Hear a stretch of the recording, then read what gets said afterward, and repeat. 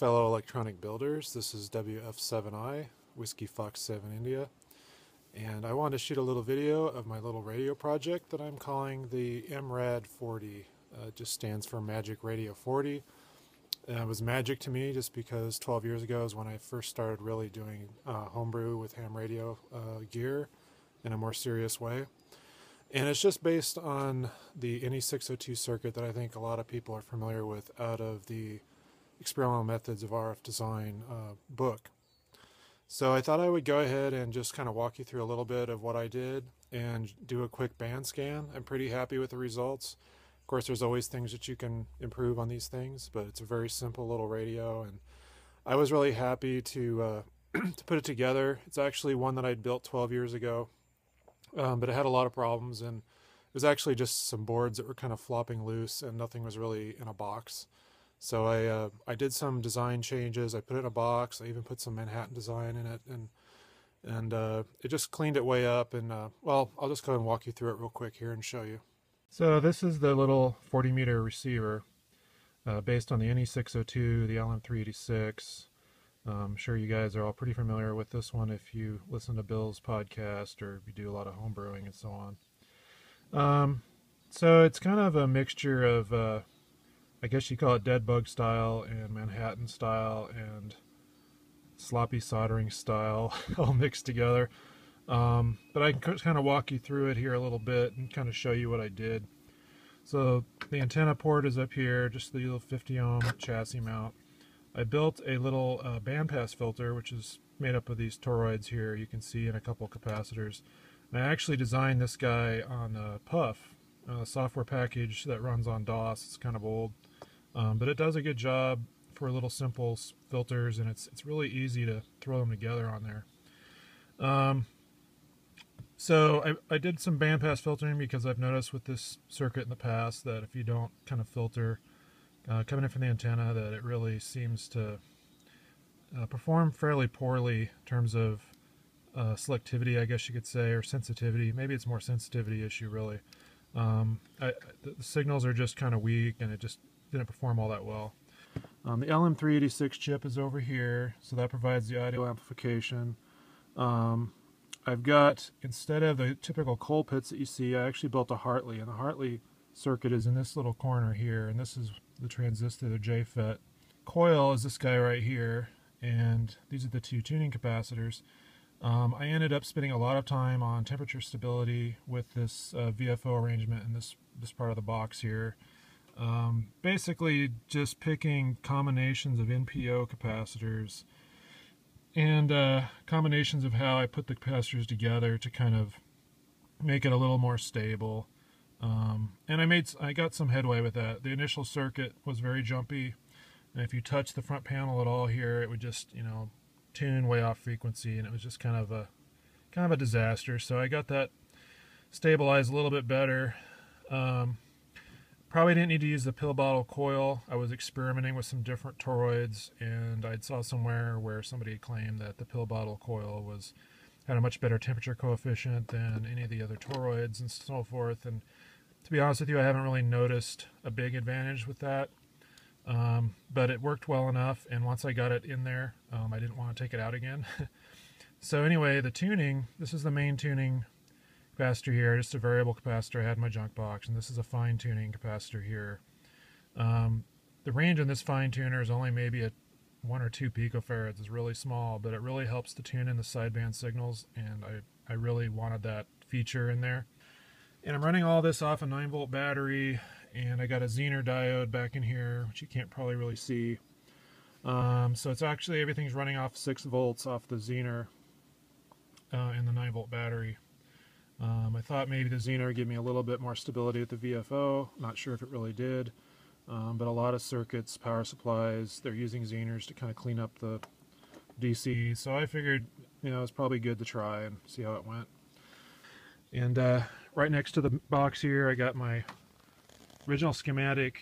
It comes out of the EMRFD. I'm sure you guys probably seen that. Front cover EMRFD. That was kind of instrumental helping me kick off all these uh, exploits uh, with building my own circuits, building my own radios.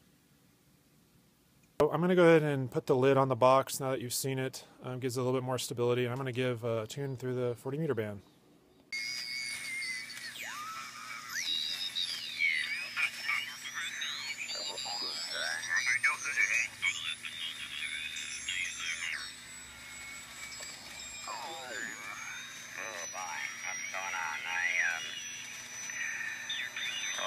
I did a little experiment on my uh, on my little. Um, I got this ten foot uh, broadcast antenna for my um, little low power broadcaster, AM broadcaster for my antique radios.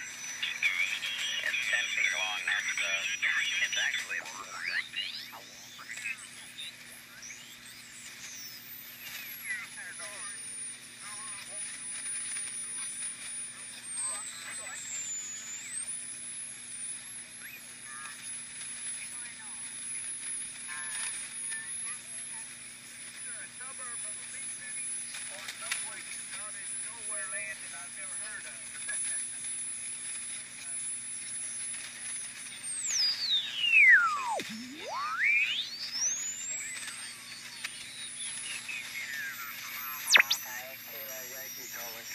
Centennial, I'm listening.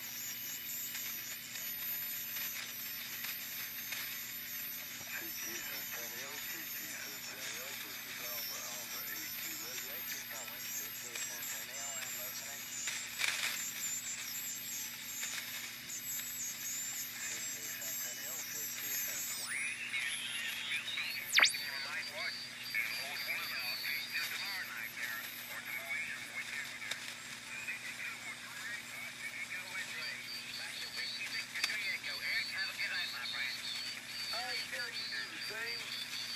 like I say, hope the weather, uh, hope the weather uh, doesn't mistreat you or anybody else down in their area for that. Uh, you take care of my friend 73 Hobo knows well.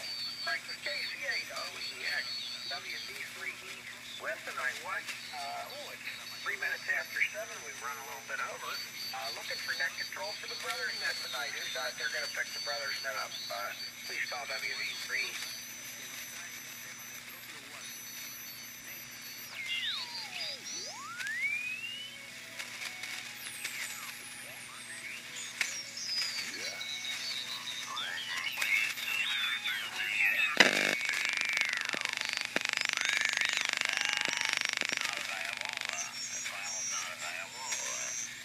Everything was unavailable, so that was a waste of my time.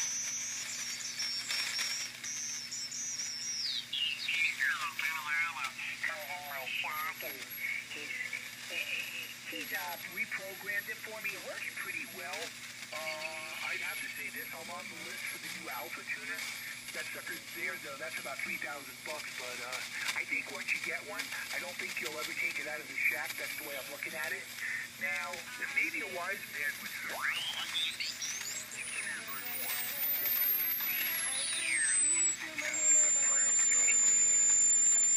You can hear some music breaking in. Um, I've got some shortwave broadcast signals that are breaking in every so often. So hopefully I can make a modification to get rid of that. Um, I've already got some filtering on it, but maybe it needs some more filtering.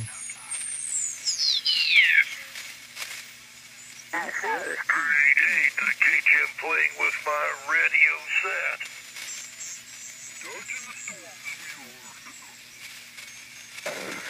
Let me tell you what. Weird stuff going on here. So that gives you an idea. Um, this will tune down to the CW portion as well, if I can find it. Unfortunately, the uh, variable capacitor doesn't have a stop on it, so it'll just keep spinning around and around. So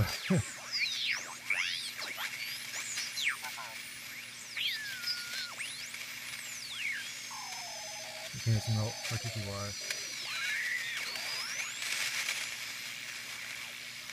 Pretty sensitive though. I mean, I can hear a lot of static crashes and atmospheric noise.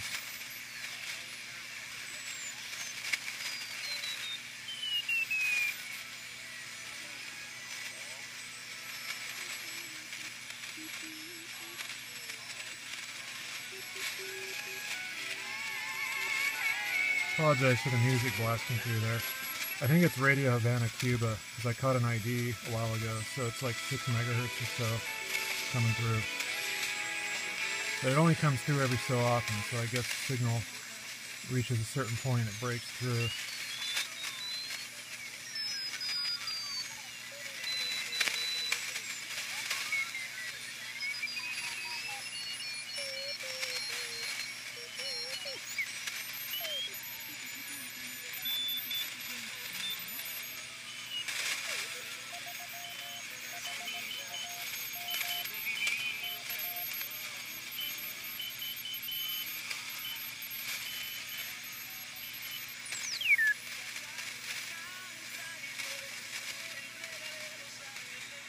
Anyway, I think that gives you a pretty good idea uh, for how it's working. Uh, I'm pretty happy with it, at least as a first uh, attempt here. I just barely got it together tonight.